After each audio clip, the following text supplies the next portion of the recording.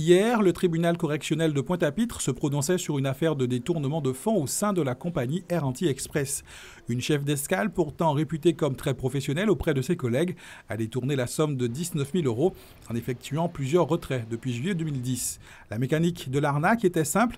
Elle percevait des sommes destinées aux frais de bouche des agents de la compagnie pendant leur période de stage aux États-Unis.